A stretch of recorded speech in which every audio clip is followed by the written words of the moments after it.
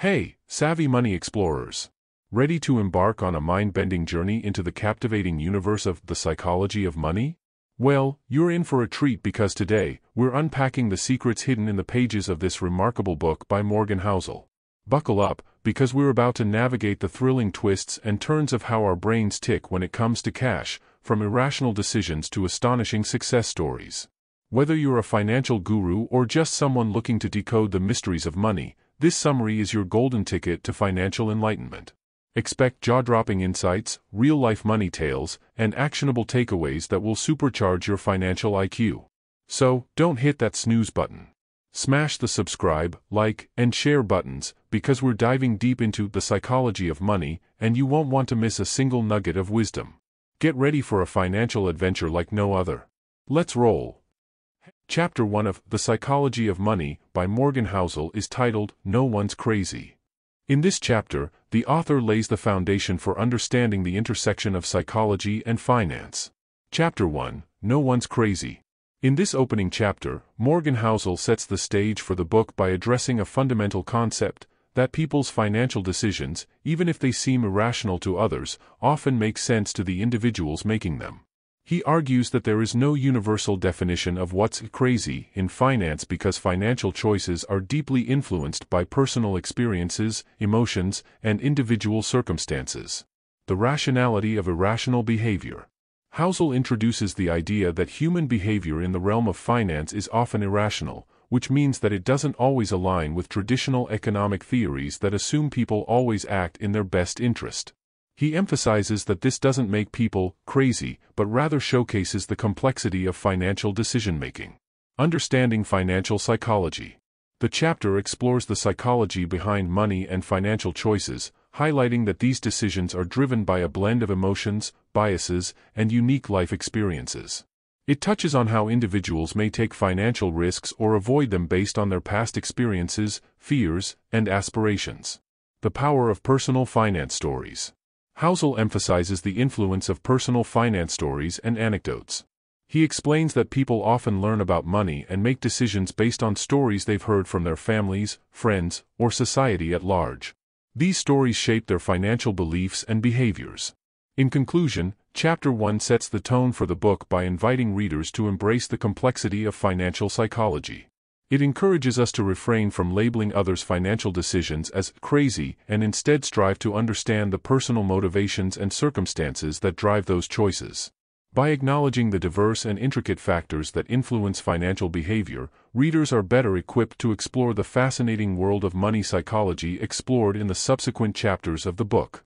Chapter 2 of The Psychology of Money by Morgan Housel is titled Luck and Risk. In this chapter, the author explores the concepts of luck and risk and how they intersect in the world of finance. Chapter 2 Luck and Risk In this chapter, Morgan Housel delves into the crucial roles that luck and risk play in our financial lives. He highlights how these two elements are often intertwined and shape our financial outcomes. Understanding luck. Housel begins by discussing luck and its significance in financial success. He acknowledges that luck plays a more substantial role in our lives than we tend to admit. This isn't just about winning the lottery, it's about the countless small and significant events that can either work for or against us. The role of risk. The chapter also explores risk and its close connection to luck. Housel explains that risk isn't just about taking chances, it's about the uncertainty inherent in financial decisions. He discusses how people often underestimate the potential downsides of their choices. The Tale of Two Investors. Housel illustrates the concepts of luck and risk by presenting the contrasting stories of two investors, one who experienced significant success through lucky timing and another who faced challenges despite careful planning. These stories showcase how different individuals can navigate the same financial landscape with vastly different outcomes due to factors beyond their control. The impact on decision-making. The chapter delves into how our perception of luck and risk influences our financial decisions. People tend to attribute their successes to skill and their failures to bad luck, a phenomenon known as the attribution error. Housel encourages readers to recognize this bias and take a more balanced view of their financial experiences. In conclusion, Chapter 2 underscores the importance of acknowledging the role of luck and risk in financial outcomes. It encourages readers to approach financial decisions with humility and a realistic understanding of the uncertainties that surround them.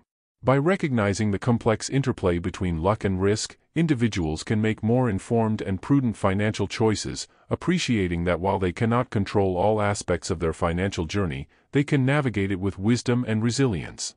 Chapter 3 of The Psychology of Money by Morgan Housel is titled Never Enough. In this chapter, the author delves into the idea of enough and how our perceptions of wealth and contentment are often shaped by psychological factors. Chapter 3 Never Enough. In this chapter, Morgan Housel explores the concept of enough in the context of personal finance. He discusses how our understanding of what is enough is highly subjective and influenced by psychological factors. The quest for more. Housel begins by examining the common human tendency to continually seek more wealth, even when we have already achieved a level of financial comfort. He explains that the pursuit of more can be a never-ending cycle, and this mindset often leads to stress, anxiety, and discontentment. The role of adaptation. The chapter delves into the phenomenon of adaptation, which is our ability to quickly adjust to new circumstances and return to a baseline level of happiness. Housel highlights how this adaptation can impact our financial decisions. When we achieve a higher income or accumulate more wealth, we often adapt to this new standard of living, and what was once considered enough can shift. The influence of social comparisons. Housel also explores how social comparisons affect our perception of enough. We tend to gauge our financial success by comparing ourselves to others, often feeling pressured to keep up with peers who appear to have more. This can lead to a constant desire for more wealth, contentment and financial well-being. The chapter emphasizes the importance of finding contentment with one's financial situation. It suggests that financial well-being is not solely determined by the amount of wealth but by the alignment between our financial resources and our values and goals. In conclusion, Chapter 3 encourages readers to strike a balance between ambition and contentment in their financial lives. It prompts us to question whether continually pursuing more wealth is truly fulfilling or if finding contentment with what we have can lead to a more satisfying and financially secure life.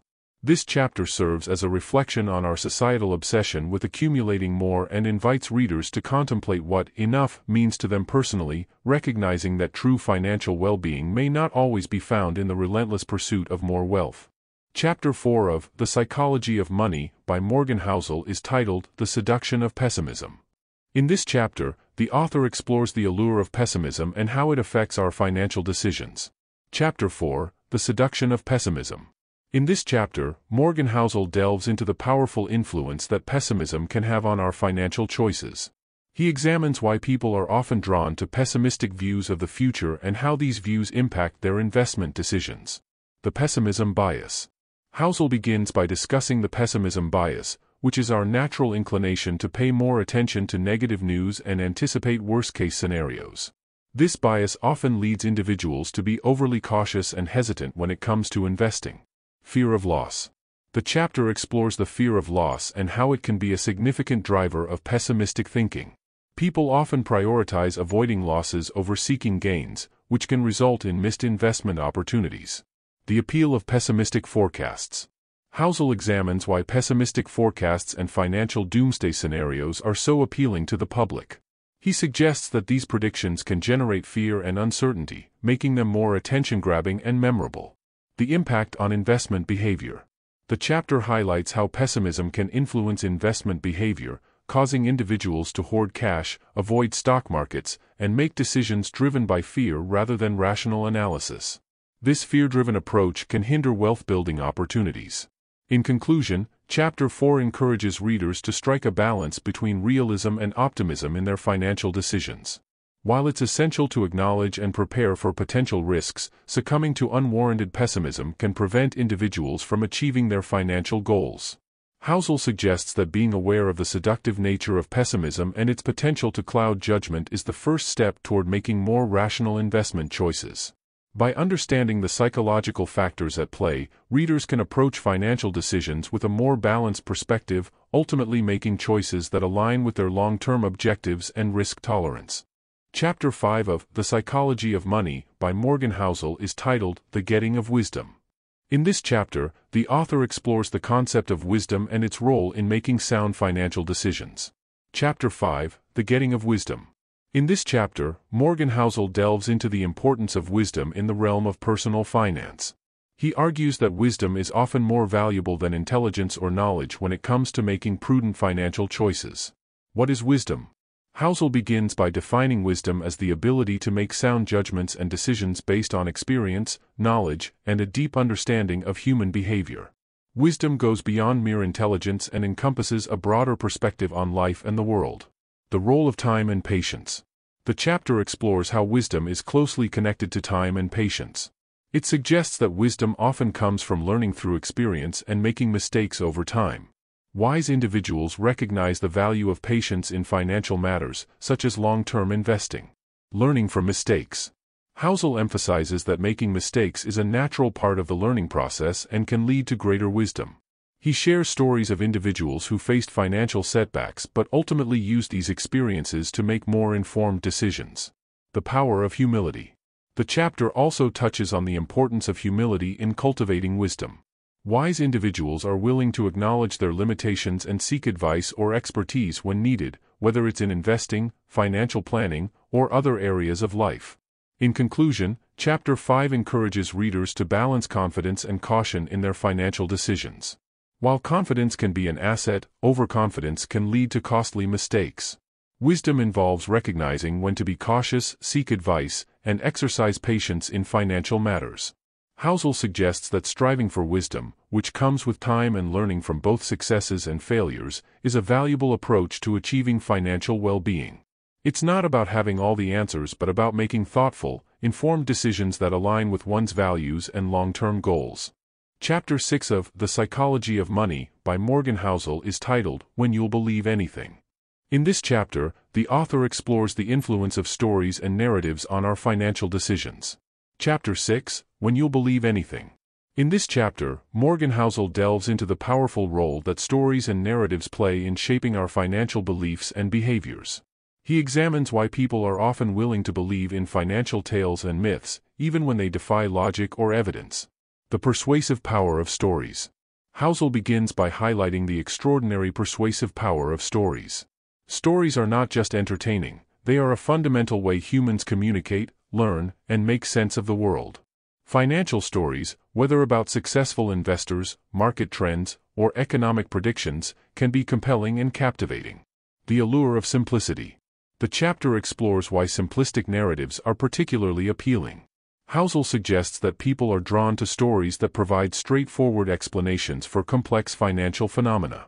These narratives simplify the world and offer a sense of understanding and control, even in the face of uncertainty. Confirmation bias and stories. Housel discusses how confirmation bias, the tendency to seek out information that confirms our existing beliefs, can amplify the influence of financial stories. When individuals encounter stories that align with their preconceived notions, they are more likely to accept them as truth. The impact on investment behavior. The chapter highlights how financial stories can shape investment behavior. People often make decisions based on stories they've heard from friends, family, or the media, even when these stories may not be grounded in reality. This can lead to herd behavior and irrational investment choices. In conclusion, Chapter 6 encourages readers to approach financial stories with a critical and discerning mindset. While stories can be informative and engaging, they should not replace careful research, data analysis, and rational assessment of financial opportunities and risks. Housel suggests that understanding the seductive power of stories and narratives is essential for making more informed financial decisions. By recognizing the role of narratives in financial decision-making, readers can become more discerning consumers of financial information and avoid falling prey to misleading or overly simplistic stories. Chapter 7 of The Psychology of Money by Morgan Housel is titled The Seduction of Pessimism. In this chapter, the author explores the allure of pessimism and its impact on our financial decisions. Chapter 7 The Seduction of Pessimism. In this chapter, Morgan Housel delves into the idea that pessimism can be seductive and how it often influences our financial choices. He examines why people are naturally drawn to pessimistic views of the future and how this mindset can affect their investment decisions. The Pessimism Bias. Housel starts by discussing the pessimism bias, which is the human tendency to pay more attention to negative news and anticipate worst-case scenarios. This bias can lead individuals to be overly cautious and hesitant when it comes to investing or taking financial risks. Fear of loss. The chapter explores the fear of loss and how it is closely linked to pessimistic thinking. People often prioritize avoiding losses over seeking gains, which can result in missed investment opportunities. The allure of pessimistic forecasts. Housel examines why pessimistic forecasts and predictions of financial doom often capture our attention and imagination. These pessimistic scenarios tend to generate fear and uncertainty, making them more compelling and memorable. The impact on investment behavior. The chapter underscores how pessimism can significantly influence investment behavior. It can cause individuals to hoard cash, avoid the stock market, or make decisions driven by fear rather than rational analysis. This fear-driven approach can hinder wealth-building opportunities. In conclusion, Chapter 7 encourages readers to find a balance between realism and optimism in their financial decisions. While it is essential to acknowledge and prepare for potential risks, succumbing to unwarranted pessimism can prevent individuals from achieving their financial goals. Housel suggests that being aware of the seductive nature of pessimism and its potential to cloud judgment is the first step toward making more rational investment choices. By understanding the psychological factors at play, readers can approach financial decisions with a more balanced perspective, ultimately making choices that align with their long-term objectives and risk tolerance. Chapter 8 The Role of Luck in Investing. This chapter explores a fundamental but often underestimated factor in investment success luck. It delves into the idea that while we like to attribute our financial gains to skill and our losses to bad luck, the reality is often more complex. The chapter dissects the role of chance and randomness in investment outcomes. Understanding the impact of luck. The chapter starts by emphasizing that many factors in the world of finance are influenced by luck, such as timing the market or picking the right stock. It's like rolling a dice or drawing cards in a game of chance, sometimes you win, and sometimes you don't. Recognizing the role of luck can help investors have a more realistic perspective on their results. Differentiating between skill and luck. It goes on to explain that distinguishing between skill and luck in investing can be challenging. Some investors may experience success due to good timing or favorable circumstances, but this doesn't necessarily mean they possess exceptional skill. The chapter encourages readers to be cautious about attributing too much to skill when luck might be a more significant factor. The importance of risk management. Moreover, the chapter touches on the importance of risk management. It highlights that while luck can play a role in investment outcomes, managing risk and making prudent financial decisions are factors within our control. It's akin to navigating a ship in stormy seas. You can't control the weather, luck, but you can control how you sail, your decisions. Long-term perspective. A key takeaway is that over the long term, luck tends to even out, and skill becomes a more significant determinant of success. It's like a marathon where short-term luck may play a role, but consistent effort and strategy are the keys to finishing strong. In sum, Chapter 8 underscores the importance of adopting a balanced perspective on investing, recognizing the role of luck, and focusing on factors you can control, such as risk management and long-term strategy. It encourages investors to avoid overconfidence, acknowledge the element of chance, and make informed decisions that align with their financial goals. Chapter 9 of The Psychology of Money by Morgan Housel is titled Getting Wealthy versus Staying Wealthy. In this chapter, the author explores the important distinction between accumulating wealth and preserving it over the long term. Chapter 9 Getting Wealthy versus Staying Wealthy. In this chapter, Morgan Housel delves into a crucial aspect of personal finance that often goes overlooked the difference between accumulating wealth and maintaining it. He frames this difference as getting wealthy and staying wealthy. Getting wealthy, the accumulation phase. First, Housel discusses the getting wealthy phase. This is the period when individuals work hard, save diligently, invest wisely, and take calculated risks to accumulate wealth. It's like the uphill climb to the summit of a mountain.